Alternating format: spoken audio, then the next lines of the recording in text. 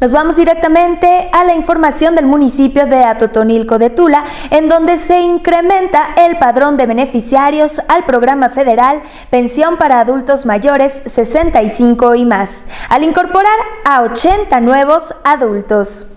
Actualmente el padrón en suma total con estas nuevas incorporaciones es de 1.524 adultos mayores atotonilquenses de las diferentes comunidades. Efraín Pedraza, secretario general en representación del edil Edgar Reyes, expresó que con la visita de Patricia González Valencia, delegada federal de la sede Sol en Hidalgo, el pasado 5 de junio a la entrega de este apoyo, se reafirma el compromiso de continuar impulsando este programa. La sede Sol cuenta con muchos programas y uno muy importante y muy conocido es el de 65 y más. Por eso, y ustedes son como beneficiarios, son testigos fieles y son pieza clave fundamental para que estos programas logren su objetivo. No podría haber eh, programa eh, eh, que logre su objetivo, pues sin la, la, pieza fundamental, en este caso pues son ustedes. Entonces agradecerles también la confianza que han tenido y que han tenido para los gobiernos en sus distintos niveles, gobierno federal,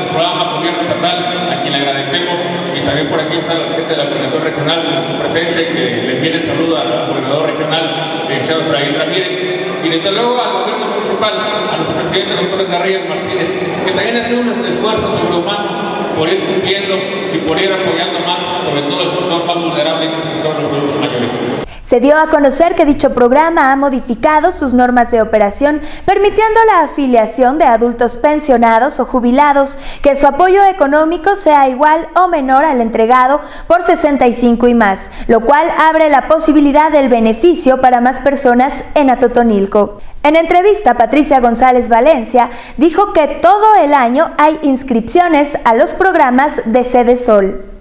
Este programa es abierto, durante todo el año estamos registrando. Tenemos seis ventanillas eh, que llamamos permanentes. En estas ventanillas se encuentran ubicadas en Tizayuca, en Tulancingo, en Ixmiquilpan, en Pachuca, en Tula de Allende y en Tizayuca. Estas seis ventanillas se están inscribiendo todo el año, pero no obstante, el día de hoy, si hubiera gente nueva que quiere pertenecer a este programa, los compañeros también los están inscribiendo. No solamente realizan el pago de las personas que ya están inscritas, como tú lo escuchaste, eh, hoy están entregando 80 apoyos nuevos que por primera ocasión estas personas van a recibir su recurso bimestral pero también estarán inscribiendo. Entonces es un programa abierto, estamos trabajando todo el año y estaremos de esta manera promoviéndolo como yo les pedí a ellos mismos, si conocen a algún familiar o vecino, que también se los platiquen para que sean beneficiados. También habló sobre la promoción que hace a la reforma energética del presidente Peña Nieto. El recurso que se les fue posible incrementar de 1.050 pesos que se les daba bimestrales a actualmente 1.060 pesos es posible por las reformas hacendarias, es posible porque ese recurso que hoy se capta puede poder apoyar a muchos más programas. Y también desde luego es informar a la gente que la reforma energética traerá beneficios y que no se les malinforme de que los mexicanos dejaremos de ser